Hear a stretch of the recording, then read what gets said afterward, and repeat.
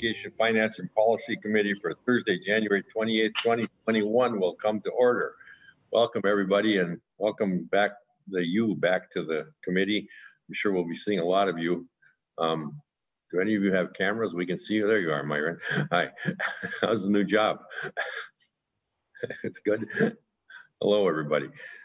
Okay. Um, so we're just, we just want to do a budget overview and uh, find out a little bit how you spend your money and how your internal allocations go and and uh, just uh, more of a primer for the committee. We're we're almost all new members of the higher ed committee and uh, and so uh, some of this is informative, some of this is new, and uh, some of it's old. So we would like to get as much information as you can possibly give us and.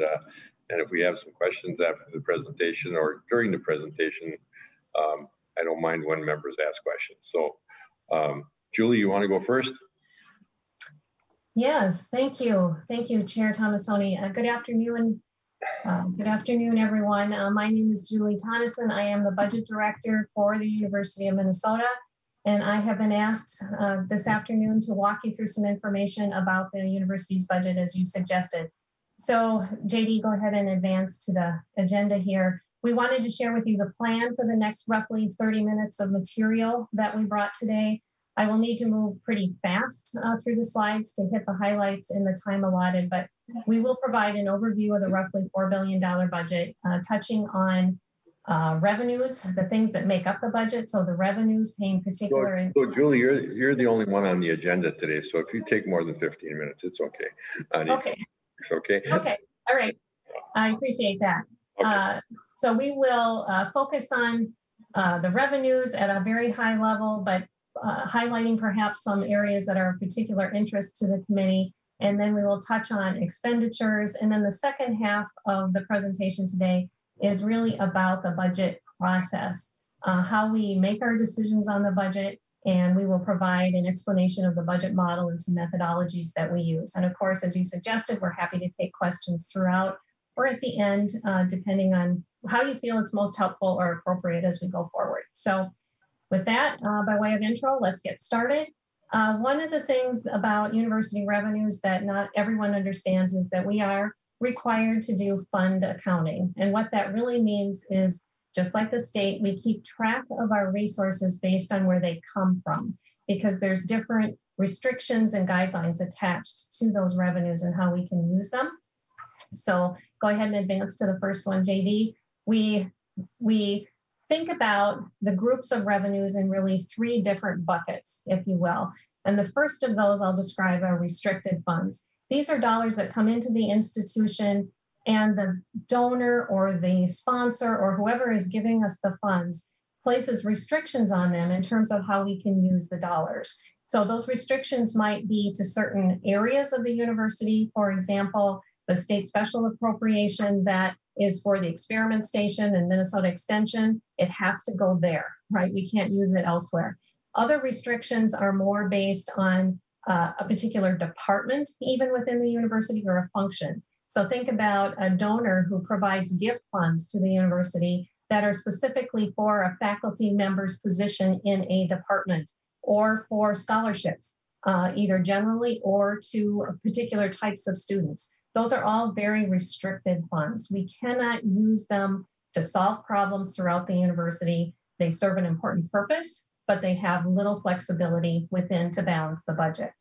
The second group, I'm hit the button, are uh, yellow okay. here. Okay, stop, stop just for one second. You said they have little flexibility. Do they have some flexibility for balancing the budget? Well, and, and when I say that, what I mean is they are uh, important in terms of providing programming. So in other words, if we get funding for a particular faculty member as a gift, that means we don't have to use our unrestricted funds to provide that same um, uh, function or that same position. So they allow us to uh, use our unrestricted dollars differently than we otherwise would, but we can't move those dollars in, in particular around. So like endowed chairs are an example of that, that they get paid by the endowment and not by the university. That's correct. That's correct. And if it's a position that we really have to have, we then we don't have to use our unrestricted funds to provide that position. So Okay. in that way, it had, they're extremely helpful, but not, but we can't choose where to put them. Uh, so then the second group that is kind of in the yellow category would be the businesses of the institution. Think about uh, the bookstores and Gopher Athletics and parking and uh, student housing and dining. These are functions that operate, they, they sell a service, they sell a good, primarily to the public or to individuals.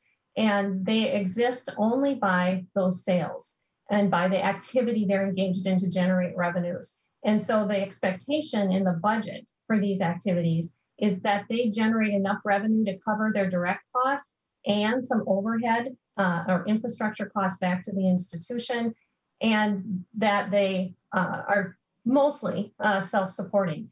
They do not generate a profit that then comes back to fund other discretionary things within the institution.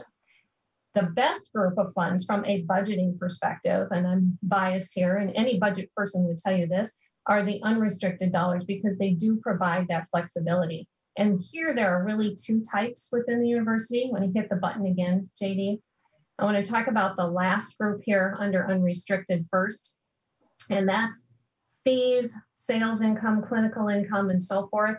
These are technically unrestricted, but they are generated by departments based on the activities those departments are engaged in. And they're unrestricted to the department in that they can use it for general operations. But the university chooses not to move that money around the institution. Let me give you an example. Uh, the uh, Veterinary Medical Center in the College of Veterinary Science, uh, Veterinary Medicine, that generates clinical income. We do not take that revenue and move it to the College of Design, for example.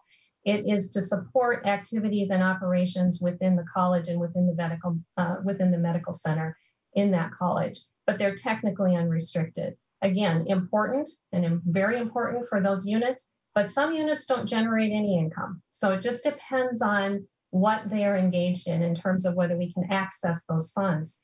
The best money from a budgeting perspective is the state O&M appropriation and the tuition because that, that that's the money that allows us to basically approach the budget in two different ways is how I think about it. it. In one path, it allows us to take care of the university, to address safety issues in buildings and labs and in our public spaces, to pay for things that our other external partners won't cover completely or even in part. Uh, things like equipment, administrative functions like HR and finance, technology, compliance requirements for reporting and monitoring, uh, utilities, custodial services, and so on and so forth.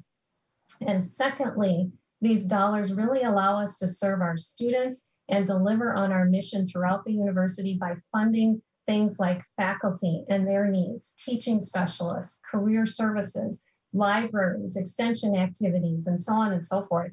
Uh, it provides that extra edge of excellence in so many ways throughout all of our colleges and our campuses. And we'll talk more in the second half about how we decide uh, and where that money goes and how our budget model pushes that money throughout the institution. But it is extremely important in allowing us to balance the budget by addressing needs where they are as they pop up and by addressing priorities um, based on the, the wishes and goals of the president and the board. So that's a very important money. Uh, how that falls within the overall budget or what the proportions are, are on the next slide. Thank you. Uh, so here you can see the $3.9 billion budget for this year and that a significant portion, 36% of those revenues are restricted in one form or another. The sponsored grants, darker, darker red because they're even more restricted than some of the other restricted funds that are here. 9% are the businesses that I mentioned. 14% is that departmental generated unrestricted income. And then 41% sits in the O&M appropriation and tuition combined. Uh, I want to advance. Within that uh, piece of the pie, within that uh, 41%, this is the split between the O&M, uh, the state appropriation, and the tuition. So if you just take the state appropriation and tuition, just those two sources, and the state appropriation here does include the state specials in this particular pie chart, that, that funding between those two sources, the state portion is 42%, tuition is 58%. And throughout the country, this has changed, here as well, this has changed over the years. And you have heard this before, but if you went back and looked 20, 30 years ago, that proportion would be significantly different and it would be the opposite. You would have 65 to 75% of the total from the state uh, with the remaining from tuition. So that has changed and we have become more tuition dependent as a result. Uh, advance, please. So let's talk about tuition just a little bit, give you some highlights. This first chart here, and this you can have for your records. Uh, I believe they you were given this presentation or have access to it. If you ever want to look back at what the undergraduate, resident, and non-resident tuition rates on each of our campuses are this year. Uh, you can see here that we did not increase them in FY21. We froze all of our rates, as did many schools. Not all of our competitors, but a number did. Uh, in in really in recognition of the impact the pandemic has had on students and families. And that really falls very in line with what we've been trying to do. So if you advance to the next slide, uh, really beginning with the 2014-2015 biennium, I think the university began a very concerted effort, sometimes in partnership with the state as well, to hold the tuition rate growth down, really in two primary ways. The first being keeping the growth on the Twin Cities campus at or below the rate of inflation, and to hold down the increase on rates for the Crookston, Duluth, Morris, and Rochester campuses even more, uh, thus creating a larger differential between them and the Twin Cities campus and less of a differential really between them and the other regional campuses, both within Minnesota and in our neighboring states. So a student here on the Twin Cities campus who had been here during this period of time would have experienced an average annual increase of 1.3%. And on each of our other campuses, a student would experience roughly a half a percent increase per year on average. Um, so that has been a, a conscious decision and has been part of our budget planning and adds complexity in the budget planning, but was considered a priority. So let's move on to the next one. I want to spend just a few minutes talking about some of the other revenues that make up that other 60%. This is a list, and I won't describe all of these. Julie, this is Julie, the just list uh, that were in that pie chart. Yep, Julie, did you have a question? Senator Clausen, do you have a question right now? Yes, Mr. Chair, I do, if I could. Go ahead. I'd like to go back to the slide where it says full year 21 undergraduate tuition. And there's a comparison of the five um, campuses. Mhm. Uh, One question would be, um, international students, are they not reflected on the chart? Or are they included in the non-resident? Is their tuition the same? Uh, Mr. Chair, non-resident? Uh, Mr. Chair, Senator Clausen, the international students are charged the non-resident rate. And on the Twin Cities, so in that column here, and on the Twin Cities campus, there is also a surcharge on top of that for uh, international student programming specific to their needs. Okay. It's $500, I believe. Okay. And the other uh, question I had was that the Rochester and the Crookston uh, campuses, the non-resident uh, and resident tuition is exactly the same, uh, whereas in the other three campuses, it's not. Could you just comment on that, please? Sure. Uh, Mr. Chair, Senator Clausen, the choices uh, have been made over time, and both of those, uh, Rochester from the beginning and Crookston for quite some time, that they, if to create a differential between the resident and the non-resident rate will not gain any revenue for the institution because we will not attract the students. Uh, those were judgments made uh, by the president and the chancellors at the time, and they have continued to um, believe that that is the case. Okay, thank you. Sure. So back to the other revenues uh, really quick here. This is just um, a listing of what in, in large categories of what those are, and I won't go into each of them. You can see that the largest by far here are the sponsored grants. Uh, I do want to make, and I'll make a point on that in a minute, but before we get there, I want to make just a couple points. One is within our system, there are incentives in our internal budgeting process and model for units to try to grow these revenues. And we work at it all the time. It's hard to grow these revenues, but we are actually succeeding in that a little bit each year. Uh, with a couple of, of exceptions, as I mentioned earlier, these revenues are expected to generate enough growth over time to cover the costs associated with generating those revenues, as well as to provide some uh, overhead expense and that little extra edge for program excellence and advancement. So they're important revenues. We want units to have be incentive to grow them, and we continue to push that where appropriate. Uh, And- second point, And and these Yep. revenues, and these revenues can be used for anything. Nope, if they are red here, that means they are restricted. There, so this is a I- mix. I get the color coding now, okay. Yeah, yeah. Yeah, uh, uh, they are, rest- if it's red, it's restricted, yellow are the business, and green are unrestricted. So the majority is actually restricted um, within the institution. And that leads me really to a second point I want to make, which is the sponsored revenue portion, the largest piece here, comes from the grants we receive primarily from the federal government, but also from business and industry, the state, other local governments and organizations to do very specific project work, either for research or for public service, highly restricted. But the, the one important thing to understand here that I want to make from a budgeting perspective is that the sponsors do not pay for 100% of the costs of the associated research.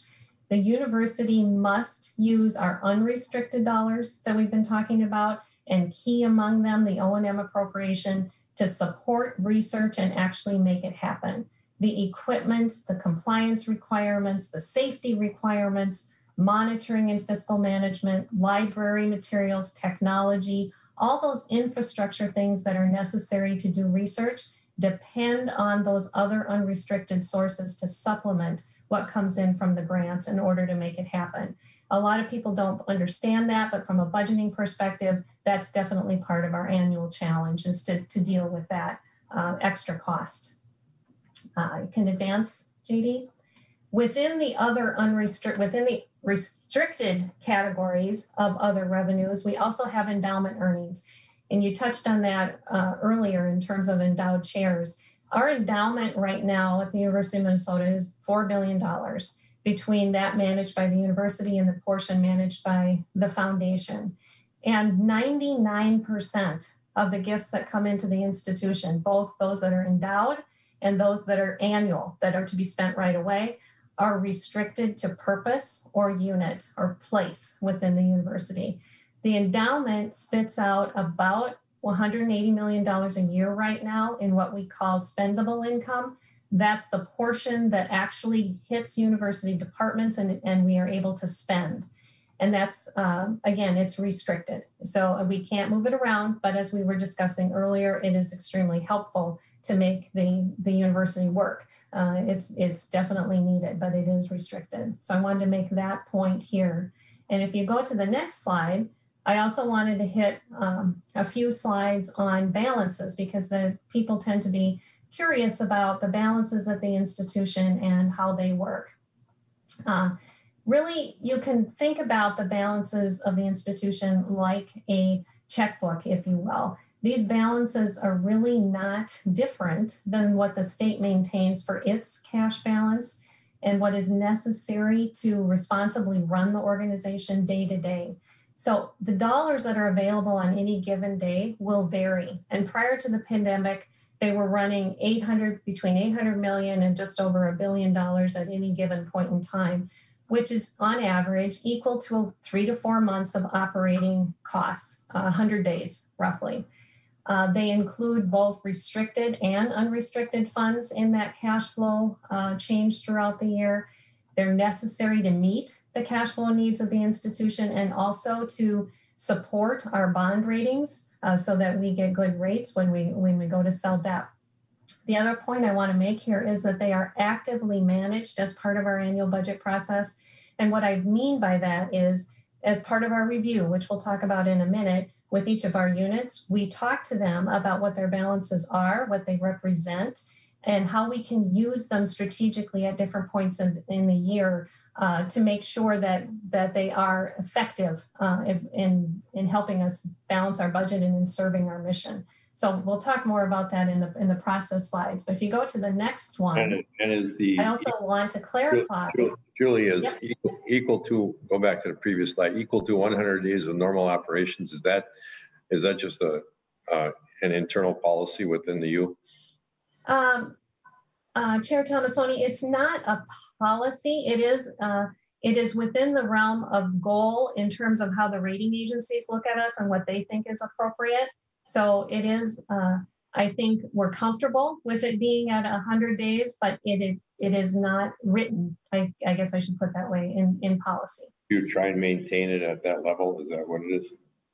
Generally, yes. Okay. And in the next slide, this is a difference between, I want to point out a difference between that total billion dollar roughly balance and what we call central reserves. By board policy, uh, we have a guideline and a goal of setting aside either $25 million or 4% of the state appropriation is how it's written in policy, uh, to set that aside every year and have it be available to handle things that happen, unanticipated needs throughout the year, kind of a rainy day fund, if you will. Uh, and it is raining now, as we all know, due to the pandemic. And so on the next slide, we wanted to share with you that exactly how this works because the board has approved now an authorized spending down of central reserves of $35 million over two years. So going in well, going before the pandemic, we were projecting the, the central reserves balance to be $49 million at the end of FY20. Then the pandemic hit, and very quickly we had to refund a lot of uh, dollars to students. We had to face additional costs and so forth. So the board approved as part of the budget process, they approved us to spend down 25 million of central reserves in FY20 and an additional or up to an additional 10 million in FY21. 35 million across the two years. So now we're anticipating the balance to be 14 million by the end of this fiscal year. It won't be that exactly, but I think we're on track to having it be somewhere between 10 and 15 million. And that means that we're going to be below our policy guideline, our policy goal. And so we will be working over the upcoming years to build that back up again so that we have that in case something else happens um, that's that's needed. So So you might, that's. You ahead. you might be getting to this, but is, is this an area where the COVID money would go back into? Uh, so, uh, Chair Tomassoni, we actually have to spend the, the federal money this year, and we believe right now prior to the end of May. And so we don't have it yet. We don't even have the official notification of it yet, but we are working on how we can use the new federal COVID money to solve problems that may take the place of some of the spend down of central reserves uh, before we're done. But our problem is larger than than 35 or even, you know, $35 million. So I'm not sure yet. Did you receive any funds from the first COVID package? Mr. Chair, yes, we did. Uh, we received about uh, 36 million. Uh, I think is what it, what the total was. And that's been spent? Yes, sir. It was spent prior to June 30th. It was spent in FY20, half of it going to students as required uh, by the federal law, and half of it went within the institution to offset a portion of the loss of the refunds that we had to give to students. Okay. Okay, so let's move on. JD, I have just a couple of quick slides about expenditures. Uh, within, within the budget, this is just the non-sponsored now. So this is setting aside those highly restricted grants that are for research that are often multi-year. This is just looking at the annual non-sponsored part of the budget, restricted and unrestricted funds. And it shows you that we track, it, well, we track expenditures in lots of different ways but two of the main ways are depicted here. On the left side of the chart, it shows you that how we spend our money by what I would call spending type or category. And you can see that as an educational institution, we are primarily a people place. We spend 60 to 65% of our budget on people, compensation, uh, salary, and benefits. And then you can see the other categories there, which are pretty typical um, ways to, to track the funding. On the right side, it's the same dollars, the same 3.4 billion, just displayed in terms of functional use. Uh, and this, these are categories that are given to us by the federal government that all higher ed, ed, ed institutions that receive federal money track their spending in these categories. This does not include, again, the sponsored research. So the research portion of this pie looks smaller than, than one would think, but that's strictly a function of the fact that the sponsored research is outside of this, of this chart and this way of tracking. Senator Uh, Clausen, Senator Clausen has a question. Sure. Thank you, Mr. Chair. Uh, Question that uh, eleven percent for student aid, does that include scholarships and also uh, student work uh, dollars that are spent? Uh, yes, Mr. Chair, Senator Clausen, yes, it would. And includes scholarships, grant aid, and um, student work, yes. Could you break that down into uh, scholarship dollars? I'm just curious what the scholarship dollar amount might be. Um, Mr. Chair, I actually do not have that with me today. We can follow up with you and get you that information in terms of what within the student aid total, how it might break down between the different types of aid. We would have that, um, but I don't have it for you right here. Okay, thank you. Let me, let me, let me follow up on that just a second. So, uh, and is the student, uh, scholarships, are they merit scholarships or are they need scholarships? Merit, merit? Um, Mr. Chair, it would be both. Well, Okay, Mhm. That would also include presidential scholarships? Mr. Chair, Senator Clausen, yes.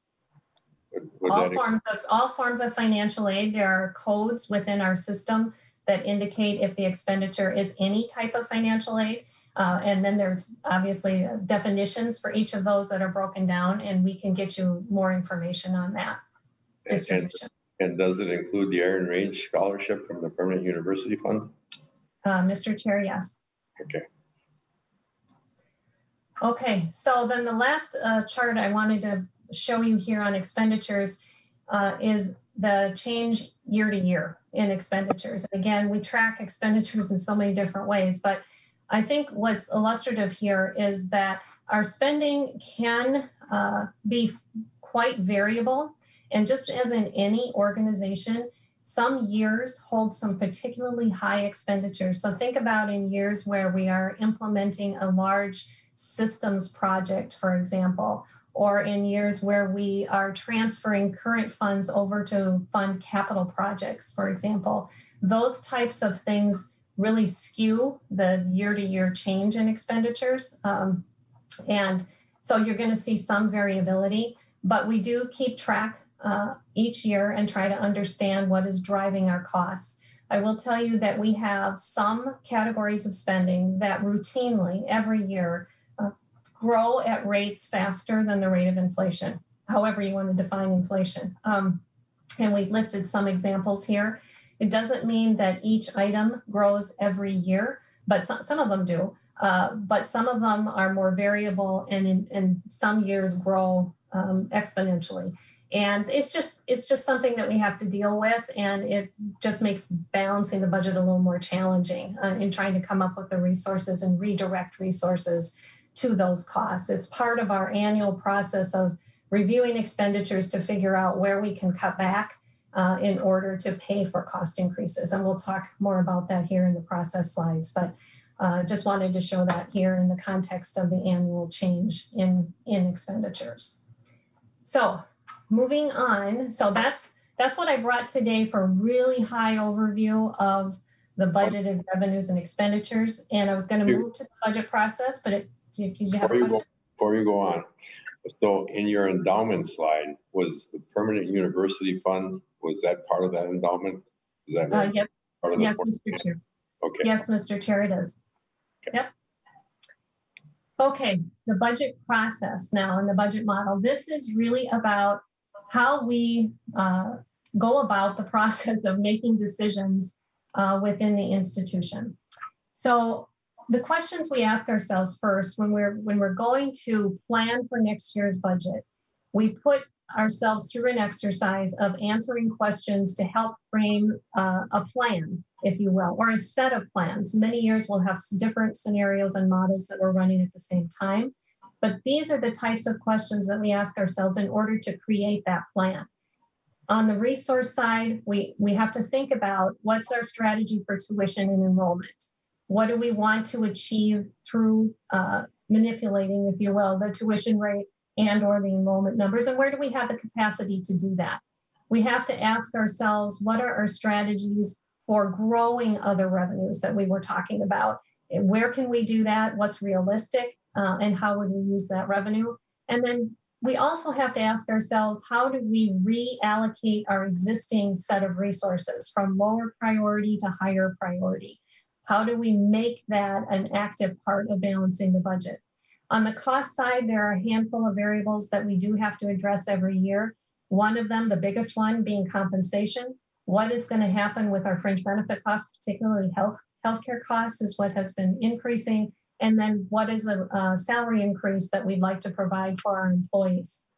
That's a major one. We also have some costs that we don't really ask ourselves questions on other than what is it going to cost us? Debt service, utilities, uh, those kinds of things that are kind of bit fixed and baked in. But then where we do have choice, what do we want to put in the budget in, in the plan for an investment pool for funding new opportunities and, and enhancements of program and that type of thing? What are the what's happening with research and do we have to be uh, in tune with do we need more infrastructure to support the growing research portfolio? Same thing with student services. Where are we? Where are we? Where's that extra edge we need to put into student services right now uh, to support the students and to uh, serve them better? And then, very importantly, we ask ourselves again that sort of the flip side of that uh, what do we do with existing resources? Part of that is saying, what do we stop doing? Uh, in order to reduce expenses throughout the institution, that means we have to stop doing something. Um, to do to work smarter, yes, where possible, but often it's a scope question as well. What can we stop doing? So those are they're really high level uh, questions that shape a plan at a 30,000 foot total university level. Here's our plan for next year. And then we work, uh, slide please. We work with each of our units during the budget process to bring that to life, to try to understand how to make it all balance. This is a list, and I won't go through all of these, but this is a list of our 50 budgeting units. Much like the state has state agencies, the university has what we call resource responsibility centers. Uh, it includes each of our system campuses, each academic unit on the Twin Cities campus. That's what you see over on the left of the line. And then we have a series of support units that either work just for the Twin Cities campus or work for system-wide um, interests. And this is the level of the institution that we meet with, that we hold accountable for the financial activity that occurs within it. Uh, and we'll talk more about, well, actually, let's go to the next slide because the next slide is who is involved when we meet with those units. The president here is in the budget process is the person who ultimately working with the board working with the leadership her leadership team and others develops the answers to those questions i was talking about for the budget. Those high level framework planning um, variables that we have to deal with. She's the one who sets that up. And then she delegates to what we call the budget committee the budget process. We take those goals that are part of that framework turn them into budget instructions, send those out to each of the 50 units on the prior page. And then we work with the chancellors, the deans, the vice presidents, the leaders of those units and in understanding their responses to the budget instructions. It's their um, responsibility to bring forth information on their challenges, financial challenges, on their financial opportunities. They bring forward proposals for budget cuts when we send them targets and they bring forward information about how they think the university can operate um, more effectively and efficiently and achieve our goals um, and priorities. So we work with them at that level to try to understand how the budget is sitting, right? So it's almost like we build a budget for each one of those units individually and then add them up in the end. Each one of those uh, 50 units has a choice in how they involve their departments or the, the organizational levels below uh, them in this process. It is up to them how they want to do that. So some are heavily involved and some are not. Ultimately, through this process, it's an iterative process. We work back and forth with the president uh, to come up with her recommended budget that she then takes to the board for review and approval. Within that, we've got a couple more slides to help um, perhaps make this a little bit clearer. But within that process, we also have a tool that we call the budget model. And this is really a series of formulas that help us determine the allocation or attribution of revenues within the inst- institution and the allocation of costs. Doesn't make all the decisions, but it's a starting point. So we'll walk you through this and then share some examples on the next slide uh, as I talk it through. In the budget model within the institution, all the revenues you see on the left here for earned revenues, they are attributed directly to the units that generate them. They don't come central, they don't come to the budget office or the president's office and get allocated out. They're recorded directly into the academic unit budgets, okay? In addition, the state, the O&M allocated state appropriation is a decision each year, but it's a it's done on an incremental basis, a base plus minus process, much like the state uses with our budget. We have a base appropriation and decisions are made to increase it or decrease it um, each year. Same thing here. We have a base for each one of our academic units. Every one of them receives state appropriation. We have a base amount there and we make decisions based on what's available to us um, to increase it when we can or to pull it back when we have to. Um, but they all, but it all goes to the academic units. So in essence, 100% of the revenues of the institution almost are in the academic units, but that means they have to have 100% of the cost there as well. So they use that revenue to cover their direct costs for their faculty and their equipment, uh, for their student support services in their dean's office or what have you. And we have a series of formulas that take the costs, in the right box here on the chart, and attribute them and allocate them to the um, academic units as an expense uh, based on different formulas. So every one of the support units, let's use the budget office as an example, the budget for the budget office uh, is actually in the bottom support service unit cost pool that you see here. And it gets charged out to our academic units based on their proportionate share of total expenditures but there's a different formula for each one of these nine cost pools in terms of distributing out those costs. And I just want to say here that in the end, we wind up with, um, it, it's a tool, right? And we wind, wind up with a way to align the revenues associated with our mission driven activity in the academic units to align that with the fully allocated costs of delivering the mission through those same units. It's a tool we use. It makes the process easier, and I would argue it makes it more meaningful. It creates incentives in the budget that incentives to grow revenue and incentives to reduce costs. Um, I could spend, I'm a budget geek, I could spend days talking about this, so I, I won't. Uh, but let me let me try and finish this by tying this tool we have here back to the budget process and making decisions, which is on this last slide. Uh, go ahead, JD. Yeah. I call this a three-legged stool for resource allocation. And it's pretty simple. There's there's three tool, three, three legs. I'm going to start with the one on the bottom, that central decision-making process. As I mentioned, the president decides on those big budget variables for compensation and tuition and how much to ask for from the state and so forth. She decides those things through consultation.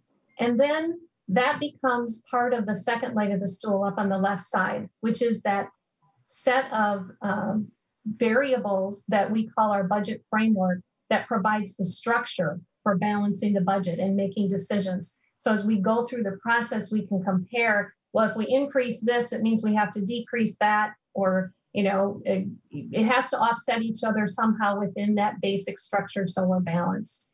The third leg of the school then, once Senator we have that plan, Julie, Oh. just a second. Senator Clausen, you have a question? Yeah. You're, uh, you're on mute. The old mute, I'm sorry. Mhm. Uh, Okay. Why don't we have our presenter finish with this slide, and then I'd like to go back one, and I have a question. okay, Okay? okay, yeah, thank you. So the third leg of this stool, which we call the budget model, which is what I just described on the previous slide that we'll come back to. What that does is actually help us translate that high level framework down to the unit level. That's the level where really the, the meat of the institution is, and that's where it comes alive. So let me give you an example. Very simply, let's say in the budget framework up on the upper left, the president has decided we're going to do a 1% tuition increase, we're going to do a 1% salary increase, and she wants to add investment in the library. Very simple, those three things only. What the budget model does is say, okay, we're going to do an increase in tuition by 1%. That means how much new revenue for our College of Liberal Arts, for example, on the Twin Cities campus. If we're going to do a 1% salary increase, that means how much more expense. And if we're going to invest in the library because of the budget model and the formula for cost allocation, we know how much that investment in the library is going to cost the College of Liberal Arts. So we can just isolating in those three variables, we can look at the college and say, all right, you get this much amount of revenue and your costs are going up this much. Where does that put you in terms of balancing? Are you short? Are you going to have a shortfall or are you going to uh, have a surplus in that equation? It through that process, and, and it's a lot more complicated than that because we bring in all the different revenues, all their challenges, all their requests for investment, all their proposals for budget cuts when we give them targets. And we have to put all those pluses and minuses together at that unit level to try to make them as successful as we possibly can. So in that process, we make decisions about the most appropriate distribution of the state money, which is not formulaic. It's an annual decision, as I mentioned, incremental, uh, but we make decisions about the best distribution of that based on what we have available. If we get an increase, we have to determine where it goes. If we get a cut in that appropriation, we have to determine where it comes out. And we use that all of those revenues combined because, because it is the combination of all the revenues together that we need in order to manage in a way that will ensure we achieve our goals and make each unit as successful as we possibly can in the most efficient way possible. It's, it's complicated, it's difficult, um, as you are aware, with your work uh, at the state, we can't do everything we'd like to do, and we certainly can't keep everybody happy. Um, I usually say a good budget is one in which they are sort of equally unhappy uh, because that's always the case. Uh, and that is true no matter what budget we're doing. People, it's never that, enough. That was Uh, actually, but we, we was- develop a budget that we really feel confident in each year. that, uh, that was actually a political statement because we say the same thing around here. If nobody's happy, probably a good budget. Um, is that, to the academic units, and they use the revenues over on the left to, in in combination to pay all their expenses plus that library charge. That's one of the expenses that they have. Uh, so it is charged out in that way. The only library that isn't part of that is the law school library. That is actually managed and stays within the budget for the law school. We have to do that for accreditation purposes for the law school. It has to be tied there instead of to the general library budget. Senator Clausen? Thank you, Thank you, Mr. Chair. Uh, Are there other examples of that where, where you uh, charge back to uh, departments? Yes, uh, Chair Tomassoni, Senator Clausen, all of our support unit costs are charged out. That's what this represents. So in other words, we don't, we put all of the revenues, the earned revenues here on the left and the state appropriation, we put them into our academic units, our colleges and our campuses. And then we take all of our support unit budgets and we, through formulas, we charge them back out to the academic units. So every academic unit is paying their quote fair share of all of administration, of um, research administration, all of our technology, infrastructure and services, our HR, our lawyers, our you know university relations. Everything is charged back out. I can imagine there's few uh, discussions about that with departments. Yeah. Uh, Mr. Chair, Senator Clausen, I would argue that's one of the, actually one of the benefits of this type of a budget model because they care now about what we are spending in all of those areas and they can provide input and we ask them for input on service levels as well. So when we're doing a technology infrastructure investment or some some new thing in our Office of Information Technology, the units, the academic units, have the ability to provide input on whether that's a priority or not, or how it should be done, because they're paying for it. Um, another example is it provides a lot of incentives where where possible. I mean, they can't really say much about how much I get paid necessarily, but they can um, make decisions that lower their costs. So they can choose to give up space, for example. The, the facility costs are based on assignable square feet. So if they have less assignable square feet, they will lower their costs. Um, the utilities, if they shut off their lights and turn off their air conditioning, their costs will go down, those types of things. Uh, and there's lots more examples, but th- those are some of the benefits actually of this type of budget model. Very good, thank you. And, and just to follow up on that, I thought I heard you say that all of those allocated costs are based on a formula. And um, so what if the formula doesn't allow enough money to pay for the costs that are in each one of the located costs? Yes, uh, Chair Tomassoni, excellent question. The formula is to distribute. There's there's a separate formula for each one of these, but it's only to distribute the cost. When we go through the budget process, we actually determine outside of a formula the the budget for facilities management for example. What do we what are we going to give them to operate for next year? And then whatever that total is the formula is used to distribute that total out to the units. So we don't set a rate and a formula rate and then give facilities management whatever that generates it's the other way around we first determine what they need to operate within our total available resources and then that gets charged out through the formula. You take the total and you proportion it out based on a formula, based on a formula. Okay, then, one- then one other question about, we, we're back at the endowed chairs, the, um, so I, I, I'm a little bit familiar with the permanent university fund and I think there's about 250 endowed chairs paid by that, somewhere in that area. Um, and, and, and most of that money comes from um, mining revenues. And I'm just wondering, um, how many endowed chairs are there, if you know that, and then um, that that are funded by the by the PUF funds, and then how are how are these endowed chairs distributed across the campuses of the of the university uh, for the purposes of their um, whatever their their their specialties are?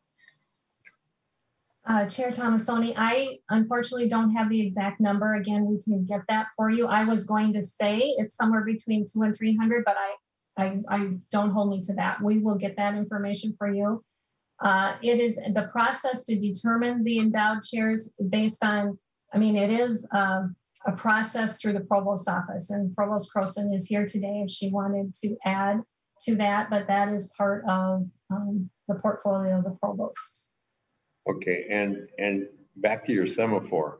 Um, so you have some, are any of the restricted funds um, restricted by a result of university policy? So um, you, you, you specifically restrict yourself uh, from moving those funds to somewhere else because of your own policies? Uh, Mr. Chair, I would say it's not written in policy, but when I was mentioning, for example, that unrestricted funds from uh, some activities like the clinical income and the veterinary medical center, uh, technically speaking, I suppose we could move that money within the institution, but it is the practice that we do not do that. Uh, so that type of revenue, there are certain practices. It's not necessarily written in policy, but there are certain practices that hold the funding within a unit. Uh, the only one I can think of where there's an actual policy right at the top of my head would be the royalty income. So when we have an invention uh, that is licensed and generates income, that income coming back into the institution, we have a policy that distributes the, that income one third to the inventor one third to the department that the inventor is a part of, and one third to our basic research infrastructure. Uh, in, in, the vice president for research, that is in policy. That so that is a restriction. Uh, but the others are either restrictions placed on us by an external person or entity, or uh, we do have some practice um, that we follow essentially. And then finally, this is my last question. I don't know if any of the other members have any other questions, but so when you have tuition, uh, that, that you, you showed the tuition on all the campuses, how much more did the students actually end up paying as a result of living expenses and room, and you know, room and board and books and whatever? Is it, is it double that or, or what's, what's, what's about the, about the amount? Yeah, Mr. Chair, it isn't quite double right now in terms of the full cost of attendance. Uh, There is an official uh, cost of attendance figure that's calculated every year by campus. And in addition to the tuition, you add on top of that any mandatory fees, their housing, dining, miscellaneous expenses, which includes some travel, uh, books, those types of things. Uh, And I think right now it is, it isn't double, uh, but it's close to double. It's, it's maybe another uh, 40, 45% on top. Okay, Uh, Senator Jasinski. Senator Thomasson, if you want to see the amount, I'll show you my checkbook next time I'm around you. So you know exactly how much it is? Uh, not the exact amount, but I have two students at UMD, as you well said, so I can share some of the costs with you. Okay, I want, I would love to see your checkbook, actually. Uh, Any other questions? Okay, Myron, do you have anything to add? Yeah, thank you, uh, Chair Thomas. And thank you, uh, the other members. I'll just take one minute because I know we're ready to wrap up. I just wanted to thank uh, Vice President Tonneson uh, for this presentation and the work she did putting this together. And I Let me really ask- appreciate. Let me, let me ask you a question before you start. So Sure. what's, what's more important, associate vice president or senior vice president? Oh, oh, you should, as you all know, uh, some of you I've known for a long time over the last several lives that I've lived. And through all the different things that I've done, there's only been one really thing, to the extent I've been successful, the only really thing I've done right is to make sure I have talented people around me. So in this case, the associate vice president means a lot more than senior just means I'm old, I think I would say right now. So, uh, but thank you for asking that question, Chair You're- You're probably, are you old enough to get your shot yet, or did you get it already? Or I am old enough to be on the list, but I have not gotten my shot yet. So I I'm, haven't gotten mine yet either. Okay, sorry, go ahead, Mark. no, that's fine. Thanks. Uh, I just wanted to say that, um, you know, one of the things we're trying to do, because I know we're all mindful of cost. And in- addition, as the president talked about uh, several weeks ago to you all, we have a new uh, 2025, 2025 plan. And we really want to make sure that as we drive the institution's future, we look toward making sure that the research, the teaching, and the service we do is is really world class and supports what Minnesota wants.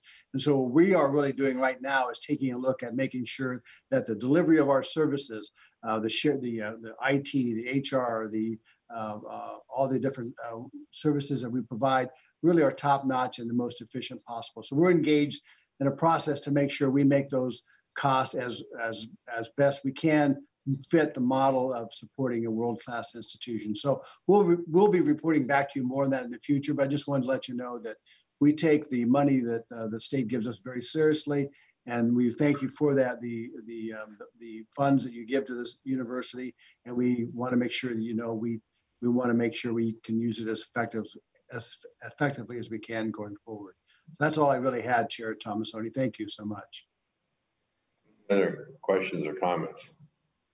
So I can't ever resist, I, I, I can't resist mentioning the PUF funds again, you guys, because for those of you who are sitting there, you may not know this, but um, there's, there's, there's, there's a couple of funds.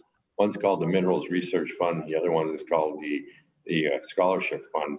And those funds actually are derived from uh, royalties from mineral deposits on the Iron Range. And when, when the minerals are mined, the the royalties are paid. And they- they're, they're both, excuse me, approaching $50 million. And the, uh, the scholarship fund is one that I think I'm, we're, we're really, really proud of because uh, upwards of 3,000 students every single year get a two or three thousand dollar scholarship to all the various campuses. And it's called the Iron Range Scholarship because it came from the Iron Range. So uh, it's kind of our con- contribution to the University of Minnesota. But the uh, the funds keep growing every year, and the, the, the minerals research funds are, are also used at the uh, NRRI in Duluth and the Coleraine Lab in Coleraine to do minerals research and to try and come up with the next and best uh, uh, way of doing things in the in the minerals industry. So um, we're pretty proud of that uh, coming from from northern Minnesota and, and, the Iron Range. So I have to bring that up. There's there's a, there's a couple other uses for it, and one of them is the endowed chairs, and another one is for um, Mesabi Range uh, uh, students to be able to go into the the industry. So uh, the, the, the funds themselves have been uh, returning many times over to the to the university, and, and it's a pretty neat thing. So uh, with that, are there any other questions from the committee?